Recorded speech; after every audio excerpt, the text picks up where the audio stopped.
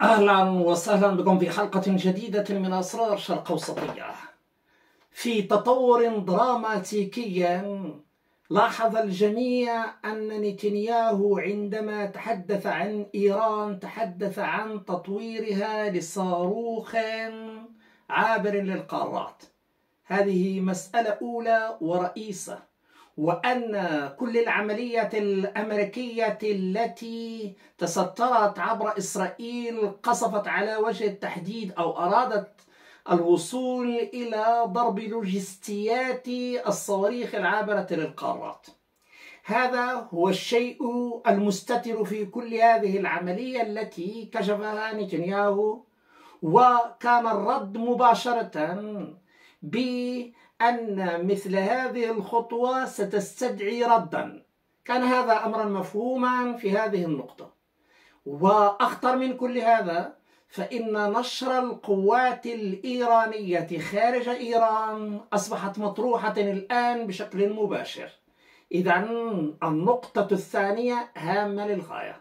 لكن الصدمة الأكبر عندما يتحدث الروس الآن عن أيضا مثل هذه الخطوة عبر الكوريين الشماليين.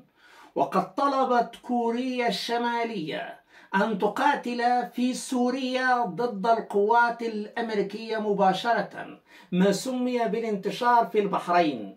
يعني أن يكون هناك انتشار ومستشارين مع القوات في الجبهة التي هي الآن محتلة هذه الأراضي المحتلة من طرف أوكرانيا في الأراضي الخالصة لروسيا. نحن لا نتحدث الآن إلا عن كورسك. إذا المشاركة المباشرة لكل من كوريا وإيران في تخليص روسيا من أوكرانيا في كورسك أصبح أمرا واردا.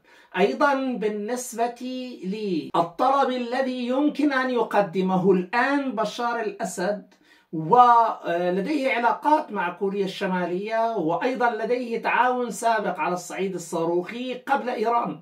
مهم جدا في هذه النقطة أن كوريا الشمالية تقترح في ورقة مباشرة عبر وزارة دفاعها عن دائرة الانتشار في كارسك وفي الدفاع عن سوريا المحتلة من الولايات المتحدة الأمريكية. إذا هذه الوضعية اليوم وضعية دقيقة تدفع مباشرة إلى أمر آخر إمكانية خروج قوات إيرانية للعمل مباشرة في حال احتلالات كالتي تحدث الآن في جنوب لبنان أو تحدث أيضا في الجولان السورية ومن خلال سوريا أيضا هناك احتلال أمريكي.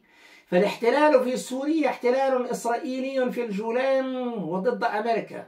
وهذا الاقتراح الذي كان من وزارة الدفاع الكورية كورقة دفعت إلى تهديد مباشر أمريكي. هذه المرة باستخدام النووي في كوريا الشمالية وذلك لحماية كوريا الجنوبية.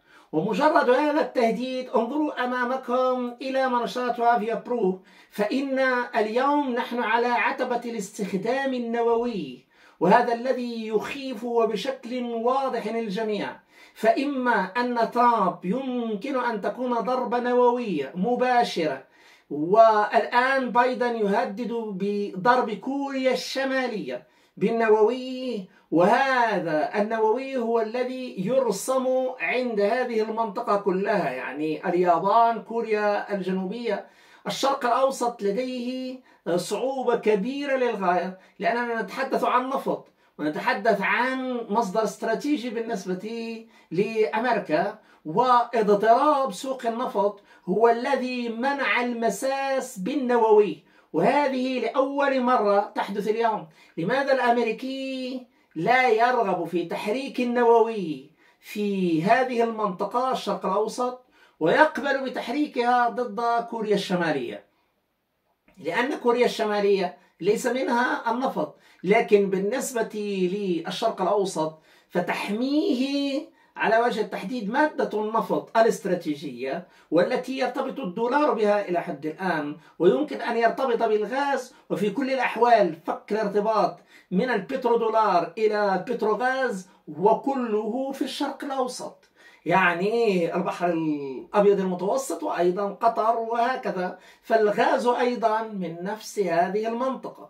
لذلك فالمساس بهذا المصدر هو الصعب كوريا الشمالية مهددة باستخدام النووي بعد أن قررت إرسال عشرة آلاف والآن فيه ألفين في كورسك وتدافع عن المشروعية القانونية وشرعية الدول في إبعاد الأوكرانيين من كورسك.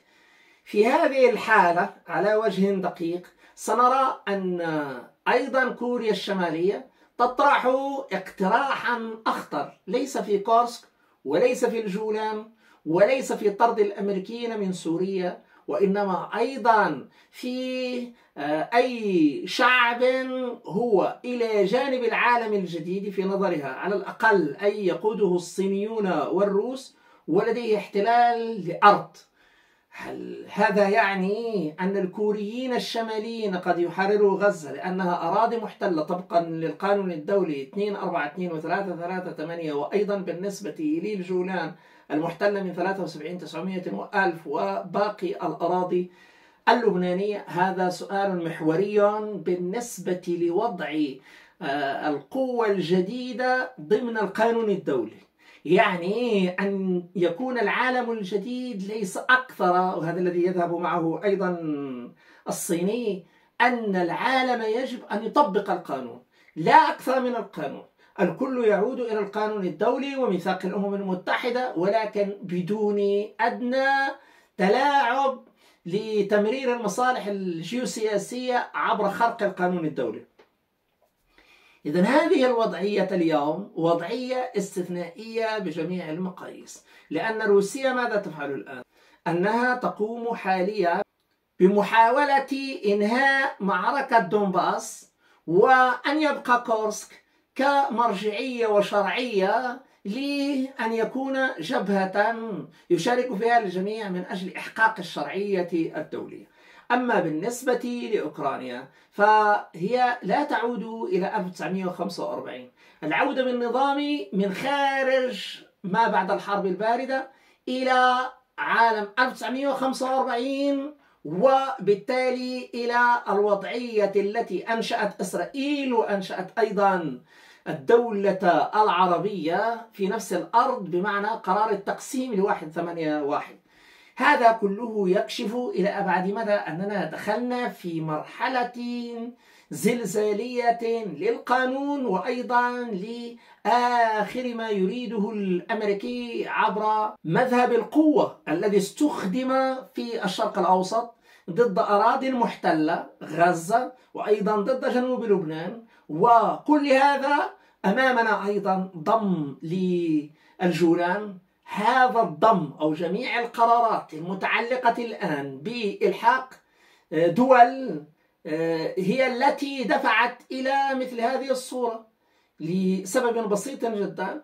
قد يقود الروس اليوم ضم أراض لأن ترامب أعطى أراض أيضا وأراد آه، صفقة القرن في الشرق الأوسط وأغلبها ضم أراض وآمن بضم القدس. إلى إسرائيل وأيضا الجولان إلى إسرائيل. إذا ضم الأراضي كمبدأ جيوسياسي حدده الأمريكي والآن يغوص في صعوباته. هذا هو التفصيل الشديد الذي يمكن أن يقلب العالم مرة أخرى. وهذه المرة عبر النووي يريد اليوم الأمريكي أن يدافع عن تغيير الحدود الجيوسياسية حسب مصالحه بعيدا عن القانون الدولي والأمم المتحدة وخرائط الدول وأيضا الضم بما لا يجوز وأمام قرارات دولية كحالة مثلا القضية الفلسطينية التي أعادت الأمر مباشرة في الرأي القانوني إلى آه، قرار التقسيم. قرار أعطى الشرعية لإسرائيل كما قال ماكرون بالحرف وأيضا أعطى للدولة الفلسطينية الحق في نفس الشرعية. هذا كله أعطى أوتوماتيكيا لعبة استخدام النووي كما هدد به أوستن. وهذا كله يكشف أننا أمام اليوم خطة خطرة للغاية درامية للغاية عندما تطالب كوريا الشمالية أن يكون له قوات في سوريا من أجل تحريرها وتحرير باقي الدول وهذا يبدأ من كورسك ولا ينتهي في الجولان وقد يذهب إلى أبعد من أجل إحقاق حقوق شرعية بما فيها فرض الوحدة على آه، الجزيرة الكورية. إذا أمامنا هذا التصور الخطير للغاية خصوصا وأن إيران اليوم متطرة للرد لأنها استهدفت من طرف الأمريكيين لقدراتها أو على الأقل نية الأمريكيين في هذا القصف باتجاه الصواريخ العابرة للقارة.